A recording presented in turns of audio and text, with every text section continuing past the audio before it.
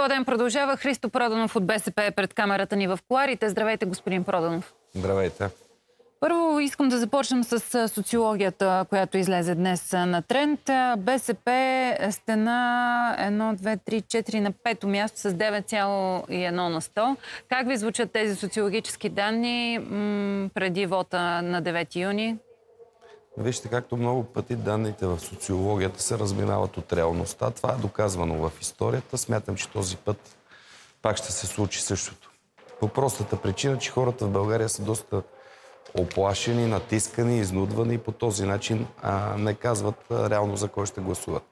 Така че, повярвайте ми, резултатите на БСП ще бъдат доста по-добри от това, което дават социолозите и тези мои предположения са на базата на това, че съм уверен, че ние в политически план не сме допускали грешки в последните години. Това, което сме казвали, сме изпълнявали.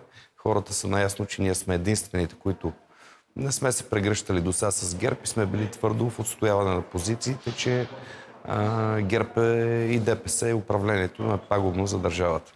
Надявам се, че вече хората са го видяли, осъзнали и че вече е доказано, че спасители няма. Сега, Съдбата само да ви е кажа, наш... че за, за да сме коректни по отношение на социологията, а, такива бяха прогнозите ви за предишните избори. Общо взето социологията отговаряше на това каква позиция вземате в момента като брой депутати в 49-я парламент. Ако имате време да поспорим, може да поспорим. Какво ни даваха социолозите Какво на изборите? Какво ви даваха? Кое място ви даваха социолозите? Нека да видим Нека да видим последните местни избори в София. Не, не, не, не местни. Говорим за парламентарните избори, господин Проданов. Ами за парламентарните избори по същия начин. Те ни даваха 8,8 и, и нещо. Ние постигнахме около 10. Въпросът е, че позицията отговаряше на подредбата, която даваха социолозите.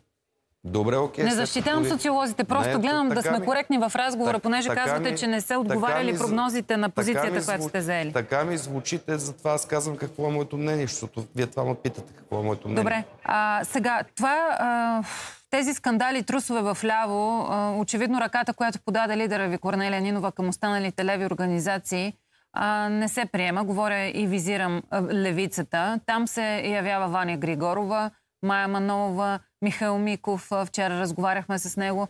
Тревожите ли се? Имате ли притеснение, че част от вашите избиратели ще се насочат именно към левицата? Въобще не се тревожим, защото нали, това е поредното повторение на това, което се случва преди всеки парламентарен избор. Преди всеки парламентарен избор едни от скелетите от гардеробите излизат бивши 30 годишни кадри на БСП, които по една или друга причина са напуснали БСП или са отстранени от БСП и започват да се обединяват.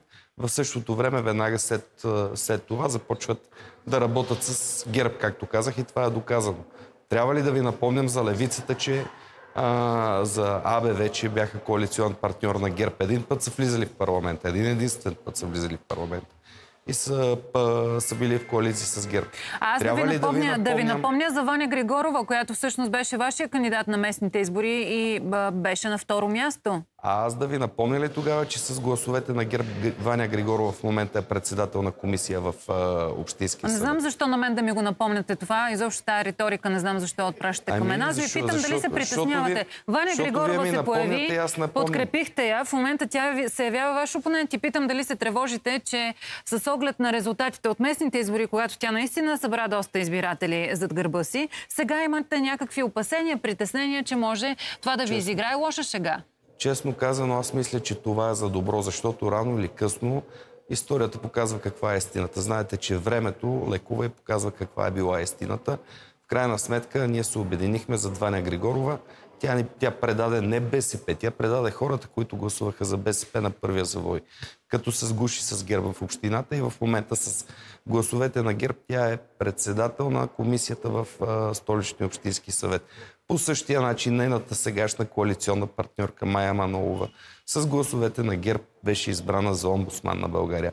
И точно поради тази причина аз казвам не на вас да ви го напомня дори, да го напомня на вашите зрители, на нашите зрители, а, защото все пак трябва да се помни, трябва да се знае каква е истината и хората, като отидат да гласуват, да си направят сметка за това, за което за което е правилно да гласуват. В крайна сметка доказано Иваня Григорова, Иваня Манолова и всички останали, които са така наречените големи, големи обединители, са едни обикновени кариеристи, които не се ли удовлетвори някакво тяхно желание, те напускат, правят нови проекти.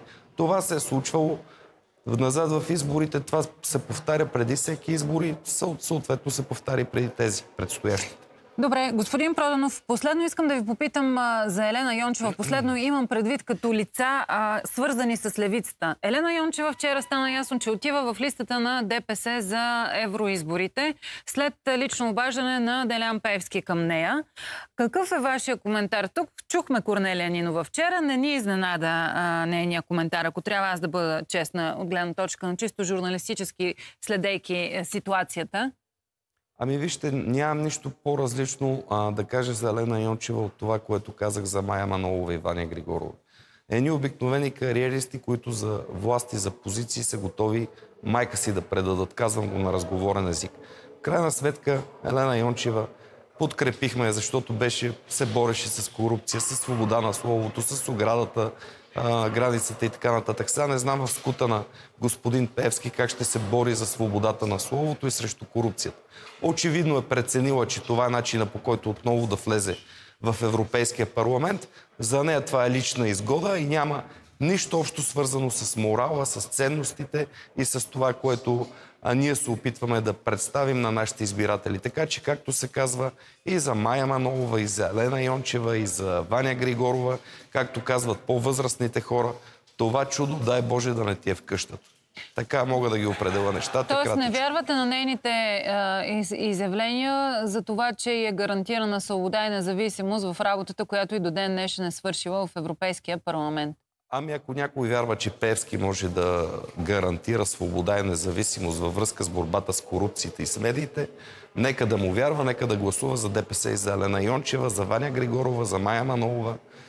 Сега в крайна сметка всеки избира и решава а, как да гласува, както е казано, всеки има глава на раменете си и да мисли това, което трябва да направи на 9 юни на изборите. Добре. Сега, господин Проданов, на финала на нашия разговор, последен въпрос имам. Моля обаче към вас много специално, специална да. молба имам, защото подскочихте за социолозите и социологията, която не, не, аз ви казвам, аз ви казвам, не обаче... подскачам. Реални факти. Стоя мирно, виждате пред Добре, камерата. Чуйте ме Стоя мирно, не подскачам. Да. Просто Дайте казвам, да не губим излишно каква време. Е, каква да. е моята позиция. Сега, влизаме в хипотезата а, на картината, която днес ни дават от тренд.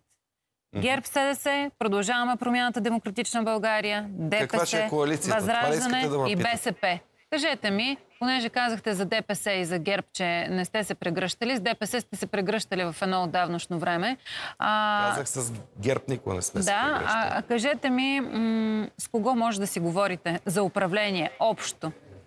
Вижте, ние може да разговаряме по политики с всички и това сме го доказали назад във времето. А относно това, което се крие зад вашия въпрос, каква би трябвало да е следващата коалиция, преди предишните избори ППДБ и ГЕРБ, между другото, криеха, че ще бъдат в сглобка и че ще правят правителство. Сега вече не го и крият, така че те казват, че а, след изборите пак ще преговарят. Самите те го казват, вече не го крият, не го отричат. В тази връзка аз за това казах, че ние сме единствените, които не сме се прегръщали с ГЕРБ. Тоест на хората, ако им харесва това, което е в момента, съответно ще гласуват за ГЕРБ и за ДПС, а и за ПП. Ако не им харесва, БСП е единствената доказана във времето альтернатива. Добре, благодаря ви, господин Проданов. Неформалната предизборна кампания